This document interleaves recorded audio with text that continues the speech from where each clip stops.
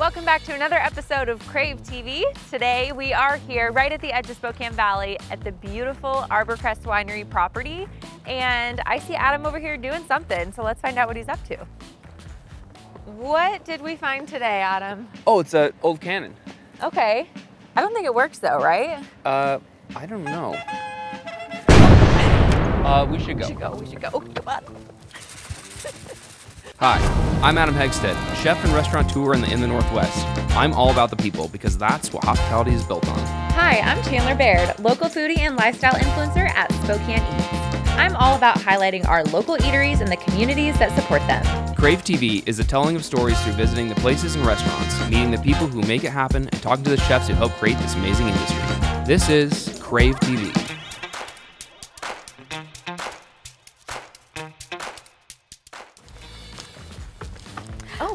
Guys. hey. Did you just hear some really loud noise? Oh, I- didn't hear it. There's some people over there. Oh, so weird. that's really weird. Yeah. Well, thanks for anyway, having us. Of course. So happy to have you Can, guys. we, can you give us a tour? Absolutely. right. Let's head this way. So I'm Kristina van Löben Sels. Um, I am the CEO, uh, owner, and my family started Arbor Crest 40 plus years ago. That's so cool. The gorgeous views and Wow, it does not get better than this right here. so pretty. Hope we're not afraid of heights. yeah, because it goes right down. Yeah. And this is what we call the eagle's nest. Um, watch your head. yeah. This was used as kind of ice cream socials and um, okay. just little parties out here. And Uh-huh. Actually, one of my favorite spots. And in the in the summer, when it's nice and warm in the evening, and you sit on these benches and you see all the lights from the city. Oh, it's beautiful, it's spectacular. Can anyone come and like use this space when your tasting room is open? Absolutely, Okay, so basically you can get your wine and then go sit wherever you want on the mm-hmm, property. Mm-hmm. Cool. And then we actually do a lot of fun private events here too. So you can you can reserve this space. Ah. Do your own ice cream social. Yes, you can. All right. Definitely. So has this always been like a winery or? So this wasn't. So the the Riblet family, um, they actually had the first patent on the chairlift. So at uh, Mount Spokane has a bunch of the riblet trams going up, and um, they just were definite uh, inventors and um, kind of very interesting. But it sat vacant probably for about eight, maybe ten years, and then my family said, "Oh, it was, became available for sale," and they're like, "Absolutely, we need to do this, and we need to start a winery." So it was very, very great cool. of them to figure that out and purchase it. And when we did, it was not what it is today. Yeah. Um, it was Sure. was so run down. It was just crazy. and yeah.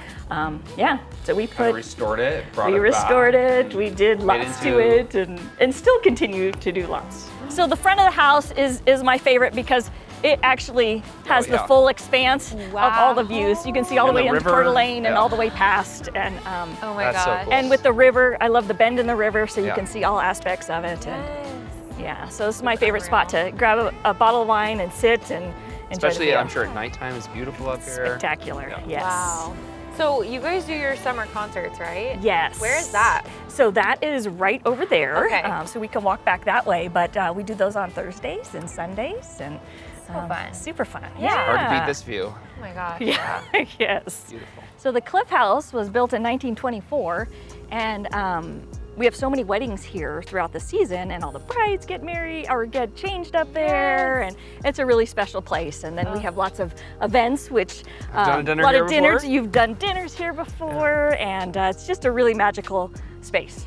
Well, So- it, was, it was, did it built, burn down or something happen? It did. So um, in 2009, uh, the south side burned down. Okay. It was horrible.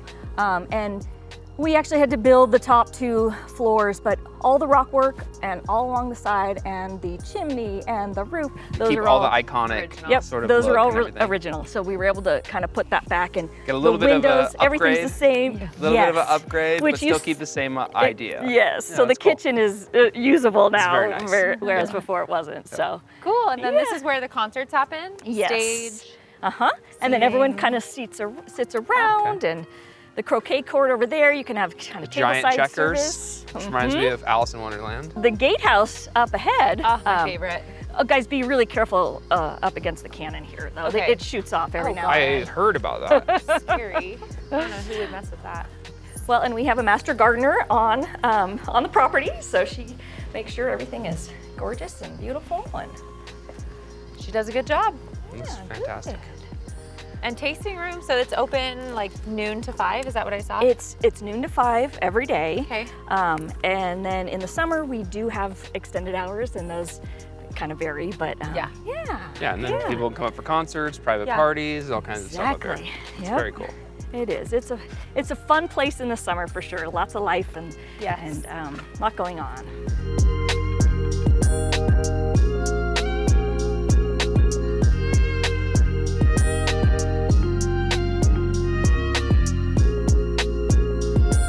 I pulled my favorite bottle of Cabernet Sauvignon from the Stillwater Creek Vineyard. So Okay. we One of have the to have benefits being yes, the owner. Yeah. Yes, right.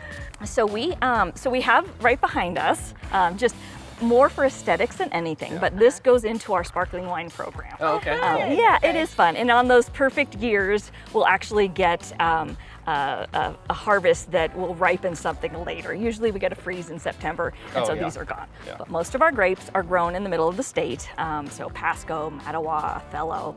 Um, this particular one is um, Stillwater Creek Vineyard, which Mm-hmm. is in the Royal Slope and right by Royal City in the Frenchman Hills. So we've had such a hot summer. And if you look right here, you can see how. Yeah, like it's these ones. affected the berries. Are these just about ripe or? Nope, you know, they're still going through veraison, so you still have the green, Mm-hmm. and um, so it's like halfway through. Okay. And but you can see how small they are, and Yeah. that's Oh, yeah. what's going to be indicative of the. And so does that create Okay. a better wine or more you know, concentrated? actually, it does, yeah. Um, so I'm excited about that. I think it'll be a really good year. We'll just have not a lot of it. So. yeah. yeah. Well, that makes it special, right? Exactly, yeah. what would you pair with this, Adam? What would you pair Oh with man, this this could be like a lot of different things, but I think uh, it's classic grilled steak. Oh, yeah. Yeah, like braised short ribs, like something like that. Oh, that Yeah. sounds delicious. This is this where you take us to the kitchen time? and you Yeah. whip something up, right? Let me go grab something. yeah. Okay. Well, well, thank you so much for having us. Oh, you and are showing I us really around. This is a amazing, beautiful property. Um, Oh, thank you for being here and, and coming to see what we do. It means a lot to us. So, thank you so much. Well, we are lucky to have you in Spokane, for sure. Mhm. Join us after the commercial break for more Crave TV. Cheers! cheers. Okay, I'm bringing you one of my favorite little cafes in the valley. It's a hidden gem. They have incredible toast. Called The Garden. Should we go in? Let's do it. Okay, you'll see why it's called The Garden.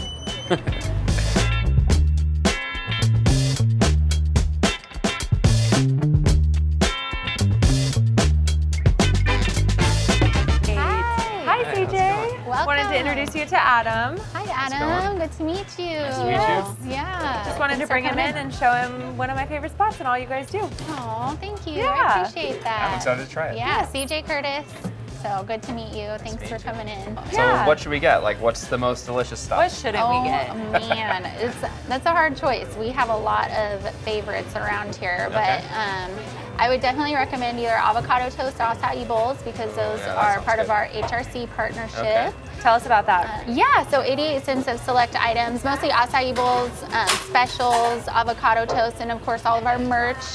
Um, 88 cents of each item sold goes directly to HRC's anti-trafficking ministry. Very Oh, that's very cool. So yeah, Love that, very near okay. and dear to my Well, we'll heart. definitely wanna Reason why that. we why we opened here. So Cool. Yeah. Okay, well, surprise us. okay, so I'm gonna I'm gonna actually um, recommend the um, jam and bacon fall edition. so right. Please. summertime we have this awesome jam and bacon. Everybody loves it, so we're trying out a fall edition style. Okay. So got some apple butter on it with some avocado. That sounds and- delicious. Yeah, bacon, of course. Can't go wrong. and then our super toast because that's a fan favorite. Um, and then I'm also gonna make you guys a nutty gardener. Perfect. So um, yeah, acai bowl, some avocado toast. Did Yeah, you guys want to sounds order some drinks? We have some fun fall drinks. What do you recommend? I'm gonna take. I'm gonna take whatever you say. Oh, I would go for the cold brew because people love our cold Pumpkin coffee. kisses? Pumpkin And of course, it's made so with good. Indaba coffee. Okay. So we serve Indaba. We partner with a lot of local uh, businesses. It's um, and Indaba is one of our favorite All partnerships. right, I'll go with pumpkin kisses. Yeah, pumpkin kisses. It is. It's adorable. Yes. I love your pebble ice. We have to show that off. Oh yes, we have the best ice. You People do. love our ice. You really we do. sell it by the bag too. Oh, good to know actually. So if you want some for the road, heading out camping or anything like that, mm -hmm. come get mm-hmm. some ice.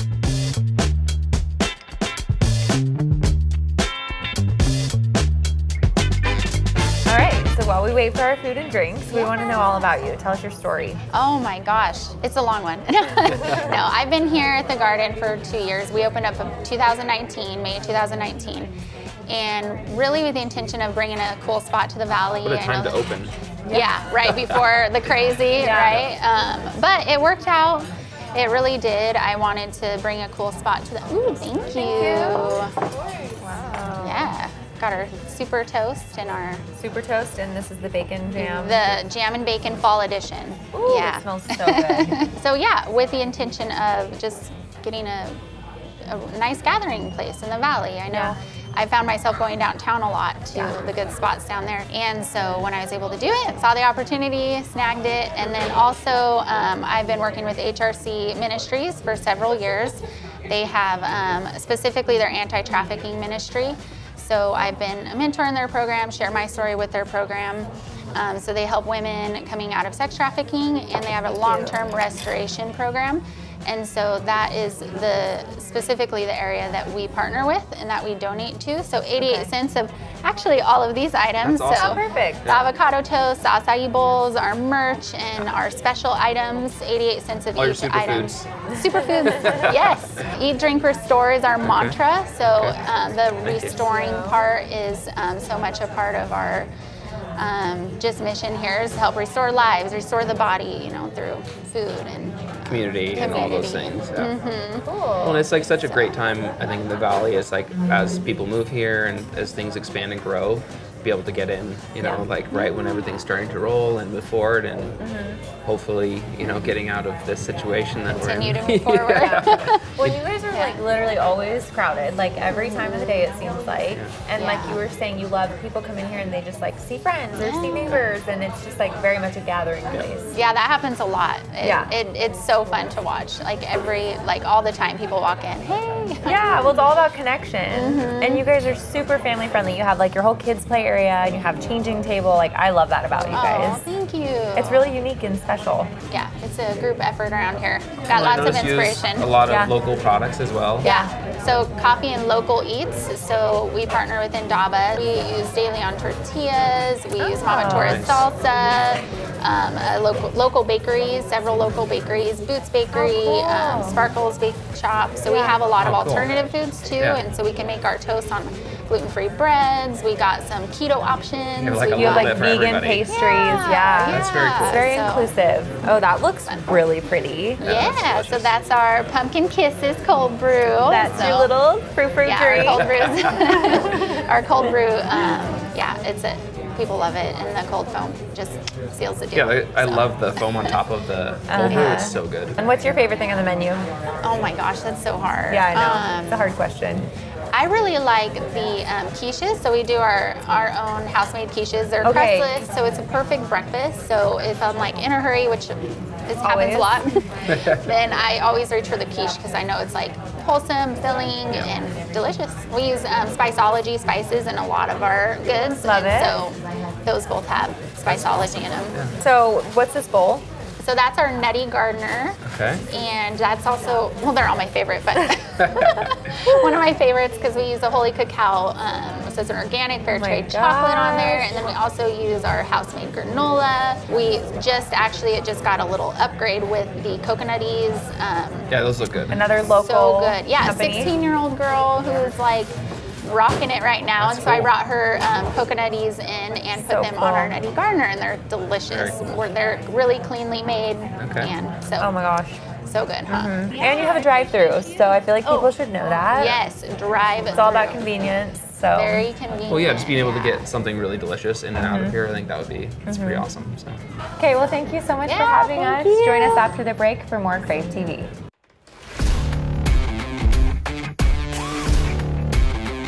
So we're gonna do a brine. One tablespoon of uh, salt to one cup of water. So that's kind of my ratio, and then I do equal part of sugar. So one tablespoon of salt, one tablespoon of sugar, and then whatever seasonings you want to put into it.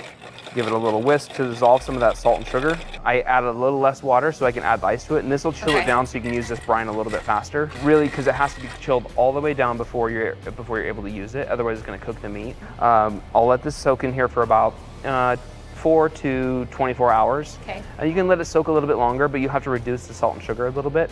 If you're gonna go 48 hours or maybe even you know a little bit longer than that, just make sure that there's less salt and sugar in there because it's creating osmosis, is sucking some of the moisture out and putting seasoning back in. And so when you're cooking it, you're gonna end up with this really nice moist piece of you know pork or chicken or whatever. yeah. Yeah.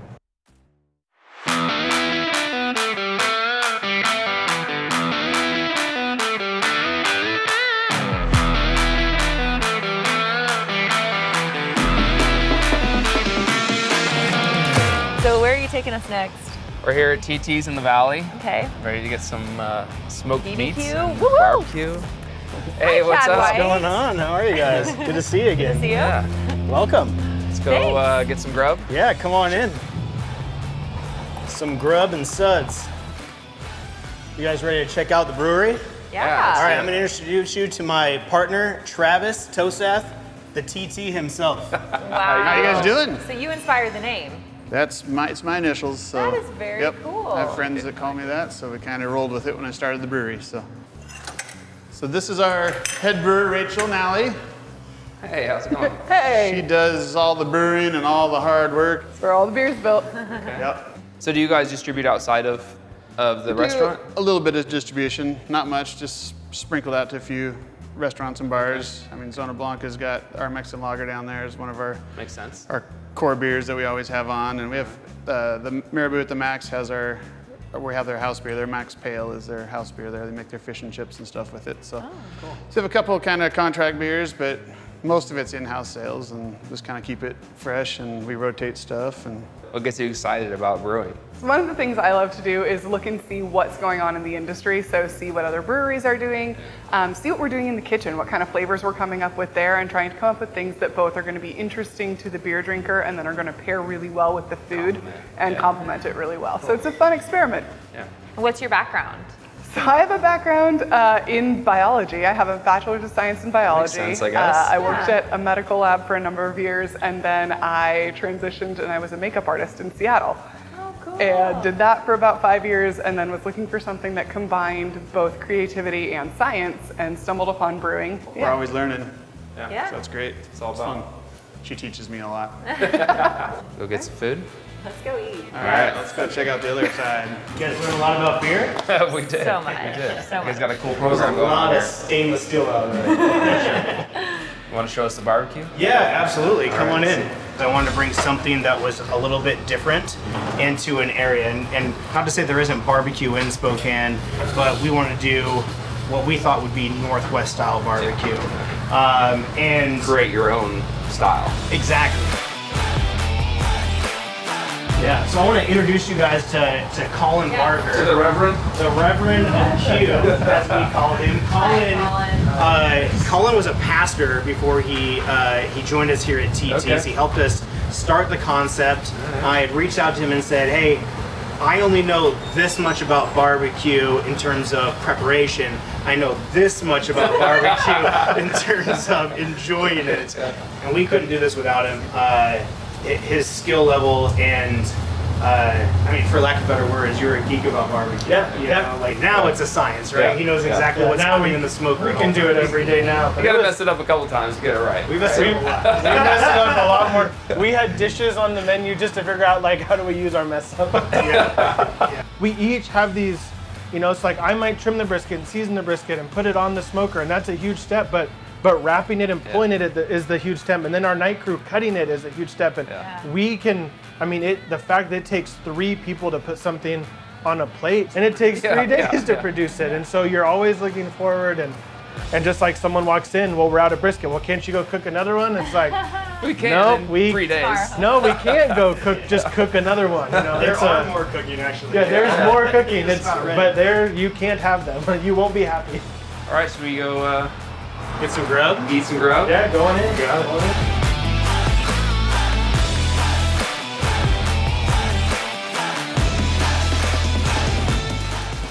Hi, Ben. Hello. Good to see you. Good to see you too. Ben, good to see you again. Thanks for coming back. How you doing? Yeah. So you're the mayor of the Spokane Valley. That I am. What does that mean? Oh, I get to represent the community in the city of Spokane Valley for all kinds of things. That's awesome. Spokane Valley is like a big part of why Crave even exists. Exactly. We really wanted to increase tourism and destinations for Spokane Valley. I mean, we're the 10th largest city in the state now. So. That's that's wild.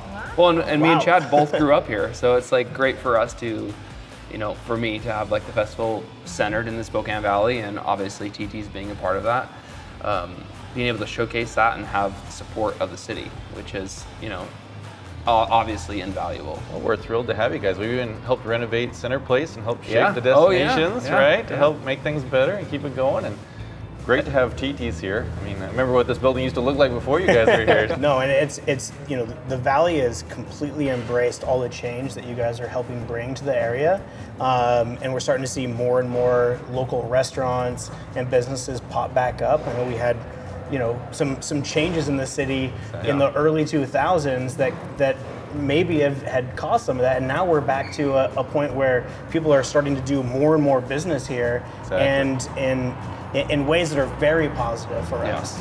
We're gonna do a rib eating contest. Okay. Who can eat six ribs the fastest? I don't know if they can show this on TV, but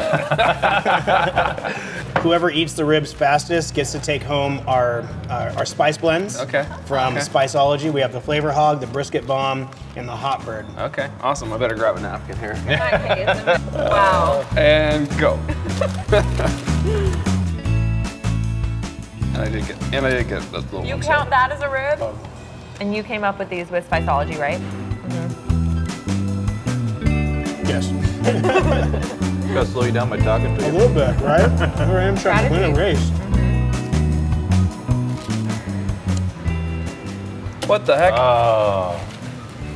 You guys didn't think I had it in me, did you?